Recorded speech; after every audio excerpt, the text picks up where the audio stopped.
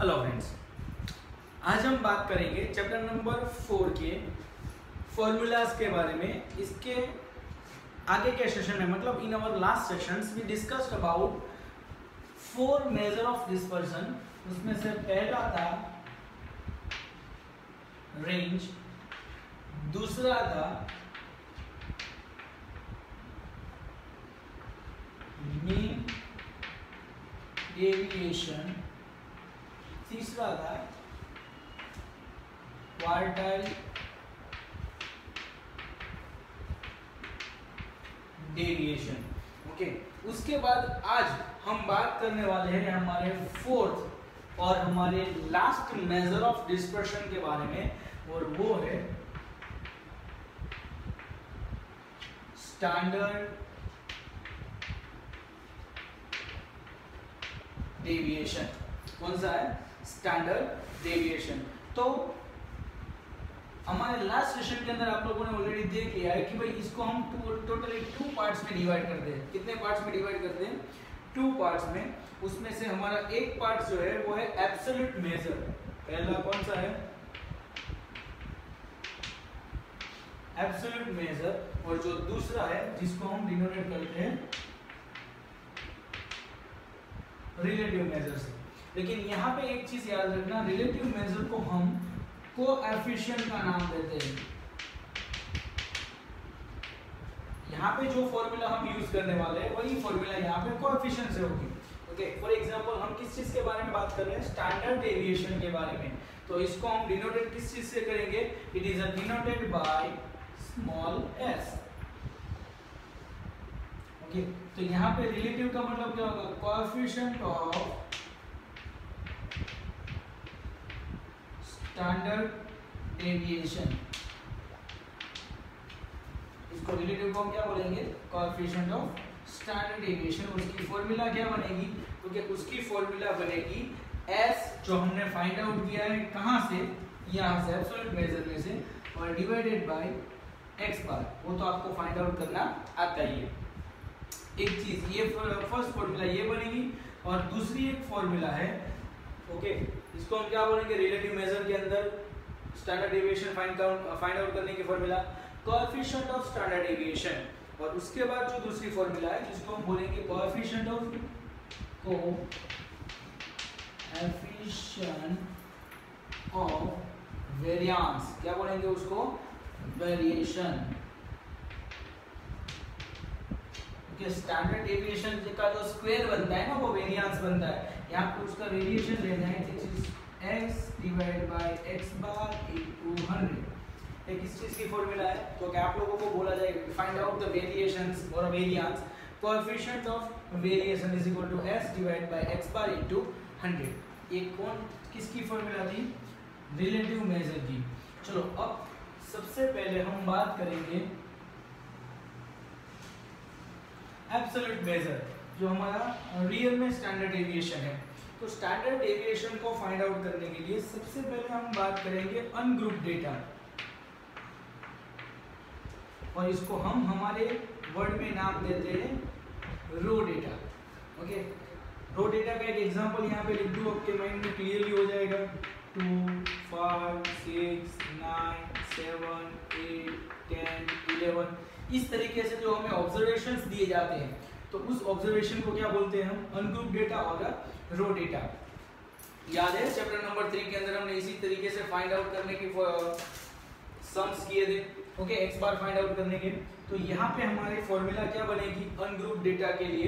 क्योंकि standard deviation का S is equal to under root में। Okay sigma x minus X bar whole square divided by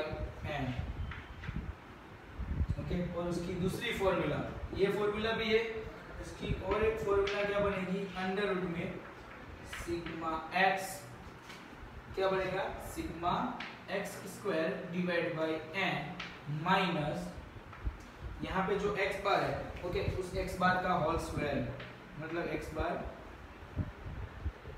square समझ में आया?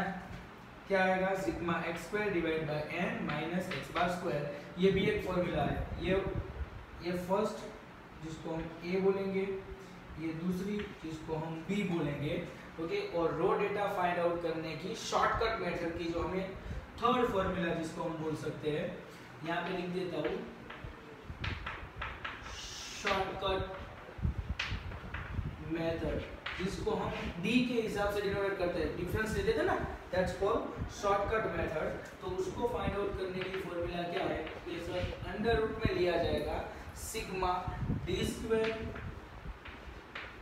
divide by N क्या आएगा? Sigma D square divide by N और minus bracket में आएगा sigma D divide by N whole square ये चीज़ बहुत अच्छे से समझना। यहाँ पे सिग्मा डी का स्क्वायर है और यहाँ पे sigma D divide by N whole square है क्लियर अब आप सोचोगे, सर यहाँ पे डी कौन सा लिया? डी कैसे मिलता है? तो डी मिलता है तो डी की फॉर्मूला यहाँ पे लिख देता हूँ एक्स माइनस ए डी कैसे मिलेगा? आपकी जो x की कॉलम दी जाती है मतलब ये जो सारे ऑब्जर्वेशन होते हैं, उसमें से a a मतलब एज्यूम इनमें से किसी एक को एज्यूम कर दो और उन सबको इन सभी ऑब्जर्वेशन में से उस एज्यूम किए हुए ऑब्जर्वेशन को माइनस कर दो तो आपको डी मिल जाएगा। उसके बाद डी का स्क्वायर करोगे तो सिग्मा डी स्क्वायर मिल जाएगा। क्लियर वो सम करते वक्त आपको इजीली अंडरस्टैंड होगा, समझ में आएगा। तो ये थी कौन सी फॉर्मूला थी? तो कैसे अनग्रुप डेटा के लिए। इसके लिए? अनग्रुप डेटा के लिए। नाउ हम बात करेंगे फॉर ग्रुप डेटा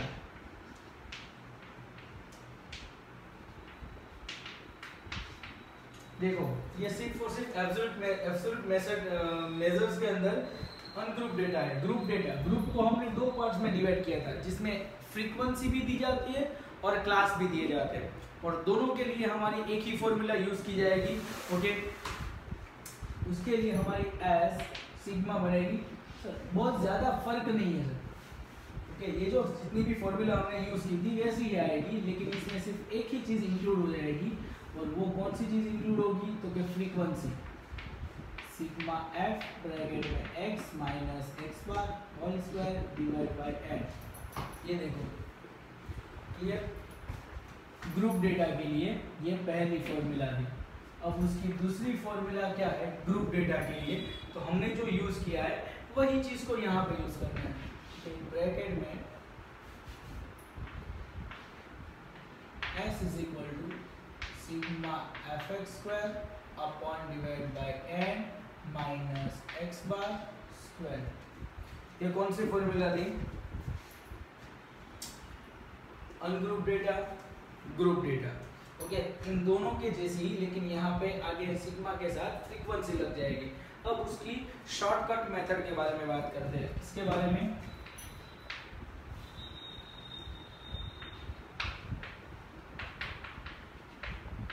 शॉर्टकट देखो, यहाँ पे हमने शॉर्टकट में क्या लिया था? X माइनस ए क्योंकि हमारे जो ऑब्जर्वेशन होते हैं, बहुत ही ज़्यादा बड़े होते नहीं है। तो लेकिन यहाँ पे शॉर्टकट टू आएगी। अगर आप d इज़ इक्वल टू सिर्फ़ x माइनस ए लेते हो, और अगर आप d is equal to X minus A divide by C लेते हो तो दोनों की फॉर्मूला डिफरेंट बन जाएगी। तो शॉर्टकट मेथड की फॉर्मूला हम स्टार्ट करेंगे। Sigma F D square divide by N minus sigma F D divide by N whole square देख लो, बहुत ही ज़्यादा फ़र्क नहीं है। सिर्फ़ एफ़ डी यूज़ किया है, यहाँ पे डी है। लेकिन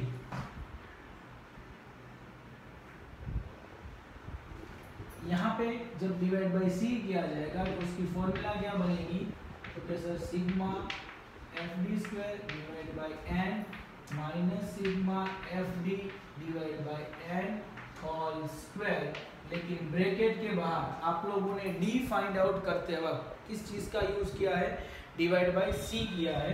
तो उसको हम यहाँ पे सी कंसिडर करेंगे। Okay just called class length उसको हम क्या यूज़ करेंगे? क्लास लेंथ ये सिर्फ़ और सिर्फ़ कहाँ पे यूज़ किया जाएगा, जहाँ क्लास है। कि ऐसा फिक्स नहीं है कि भी क्लास होगा तभी यूज़ होगा, लेकिन मोस्ट ऑफली क्लास के सम्स में ही ये यूज़ किया जाएगा और रिमेनिंग जो एक्स और एफ़ की कॉलम दी है, वहाँ ये फॉर्मूला यूज़ की जाएगी। तो इतनी फॉर्मूला थी। अगर आपको ऐसा पूछा जाए कि रिलेटिव मेजर की बात करें तो ये रहा। ओके एब्सोल्यूट मेजर की बात करें तो उसको हमने दो पार्ट्स में डिवाइड किया है। Raw data that's called ungroup data और group data okay group data के अंदर ये फॉर्मूला थी फ्रीक्वेंसी की, यहाँ पे फ्रीक्वेंसी आएगी नहीं तो ये फॉर्मूला आएगी। अब हमारी लास्ट फॉर्मूला जो है, वो बाकी है that's called combined standard deviation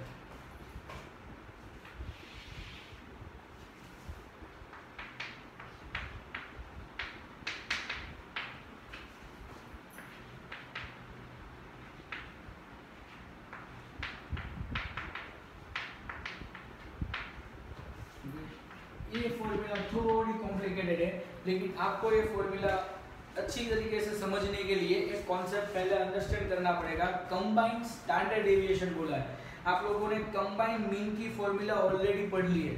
तो सबसे पहले यहाँ पे तो उसकी रिक्वायरमेंट रहेगी। पहले फाइंड आउट करो combined mean X bar C okay उसकी फॉर्मूला क्या थी? तो जैसा N one plus N two X bar two divide by N one plus N two थी ये फॉर्मूला हाँ जी। ये था कंबाइंड मीन इसको क्या बोलेंगे हम?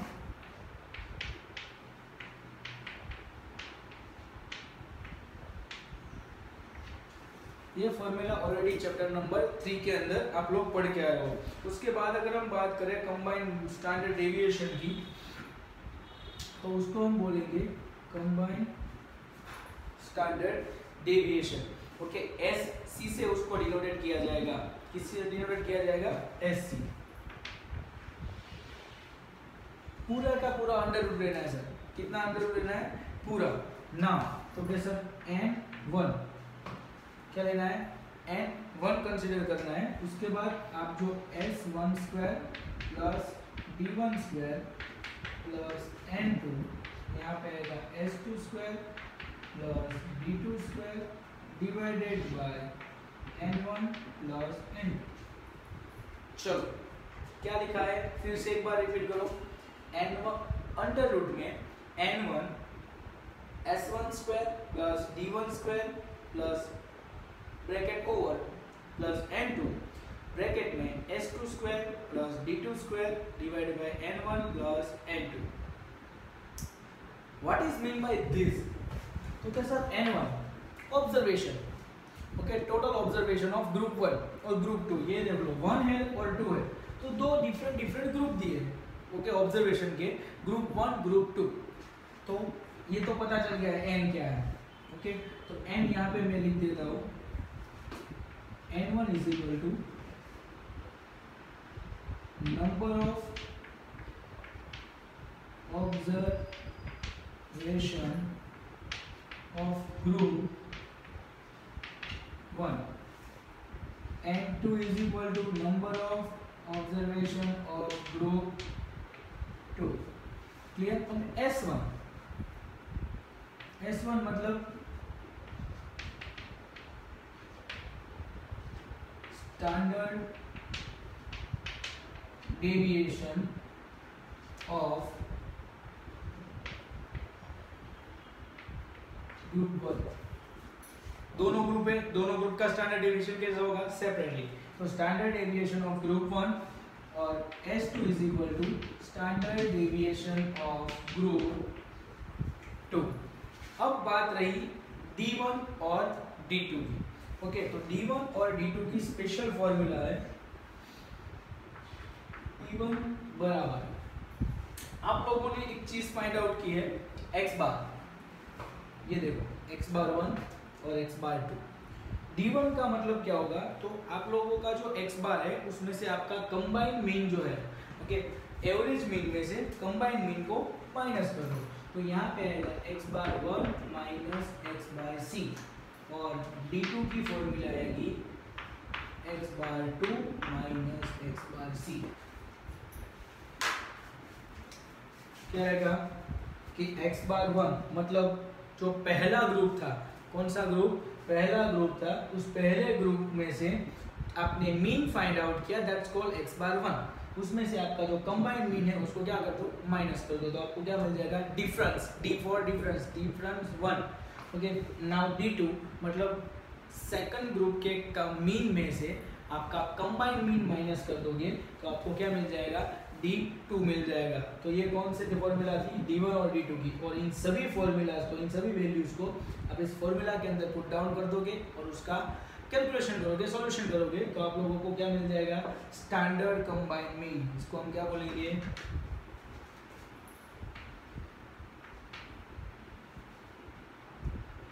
कंबाइंड स्टैंडर्ड डेविएशन ये रहा।